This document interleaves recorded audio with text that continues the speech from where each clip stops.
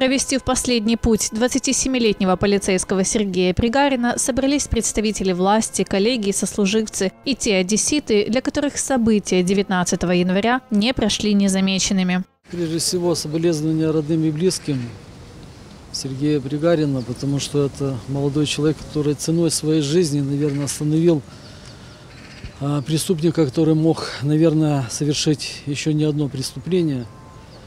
Ну, вечная ему память. Это действительно герой, который заслуживает уважения и признания.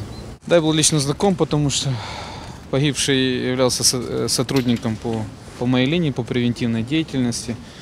И как вот показывает жизнь, забирает самых лучших. Он отличался дисциплиной, трудолюбием и никогда не боялся идти вперед и выполнять свой служебный долг.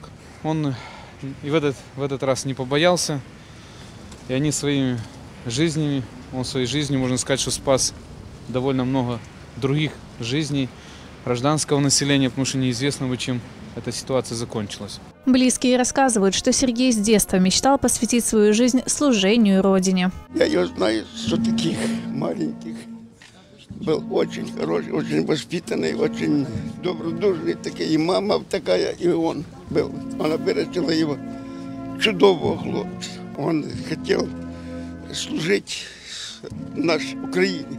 Участковый Сергей Пригарин начал службу в органах внутренних дел в 2012 году. При исполнении служебных обязанностей во время выезда на Новосельского 48 был тяжело ранен и скончался в больнице. У 27-летнего офицера осталась жена и двухлетняя дочь. Похоронили полицейского на Таировском кладбище.